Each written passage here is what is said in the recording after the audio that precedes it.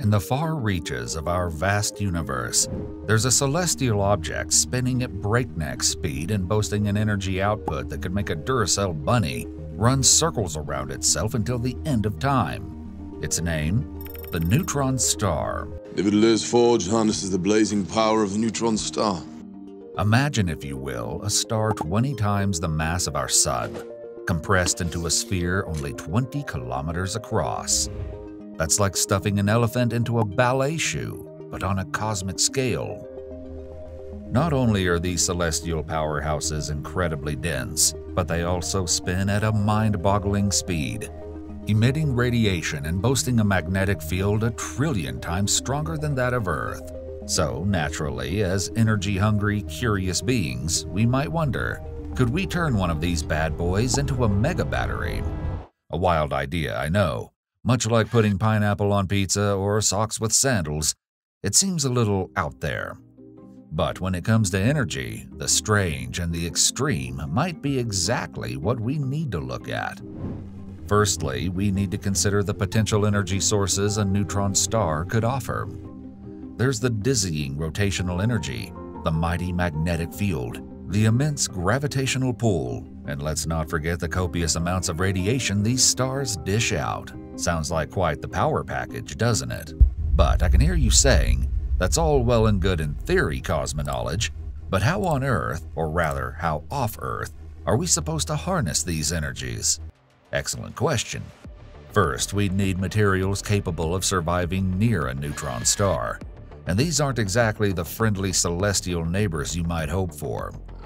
Imagine a star shaped Godzilla with an attitude problem, and you'd be halfway there.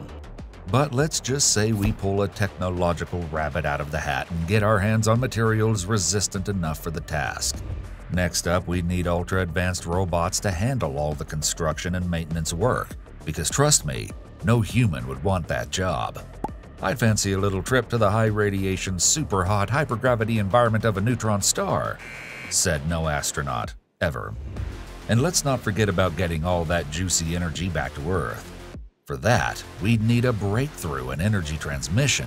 Quantum entanglement, anyone? It's kind of like sending a text message through space, but instead of emojis, you're sending energy.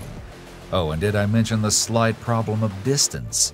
Unless you've got a few light years worth of free time, we're going to need some serious upgrades in propulsion technology. That's right, we're talking warp drives, wormholes, and maybe even a sprinkling of theoretical physics magic.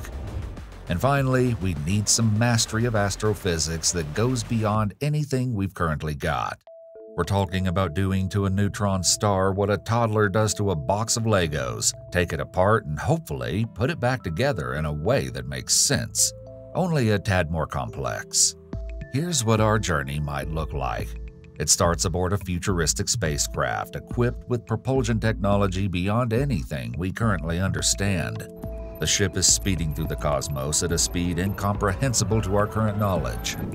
As we draw closer toward the neutron star, the pulsing, rotating beacon of energy that we aim to harness, we witness the extreme conditions.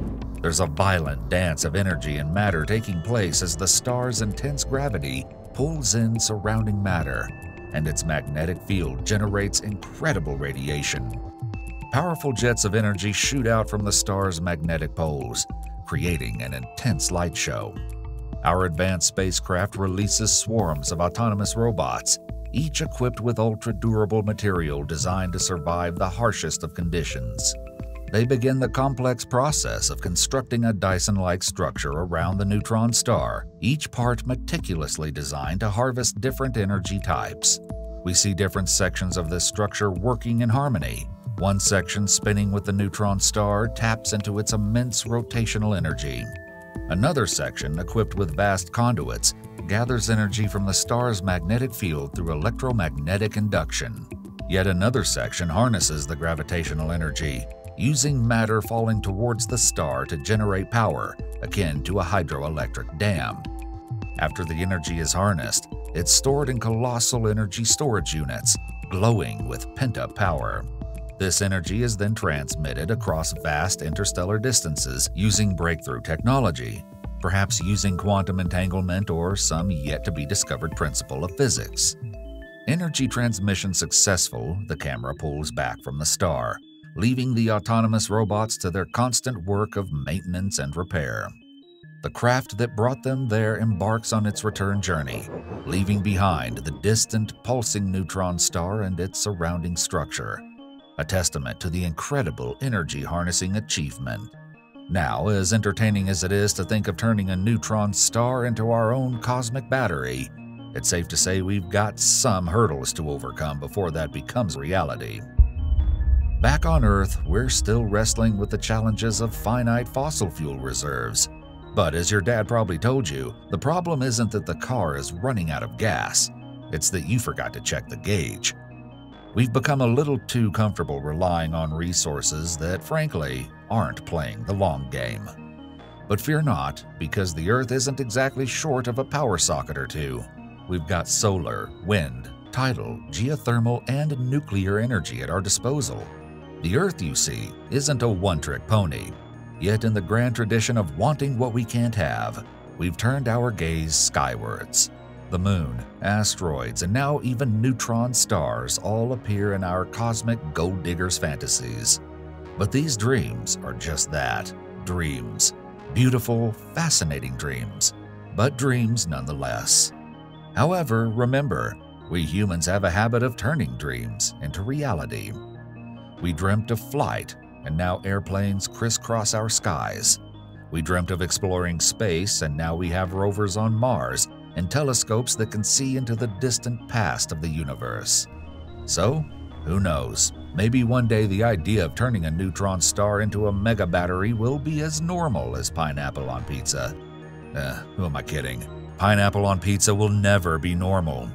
But in the cosmic scheme of things, it's not so far-fetched to consider the energy potential in the universe. Just as we went from oil lamps to nuclear power plants, who's to say what the future might bring? Until then, let's continue to appreciate the spectacle of our universe, the secrets it still holds, and the potential it represents. After all, the energy we seek isn't just out there in the heart of a neutron star. It's here on Earth in the heart of our quest for knowledge and the unstoppable power of human curiosity. So the next time you look up at the stars, remember, there's more up there than mere balls of gas and dust.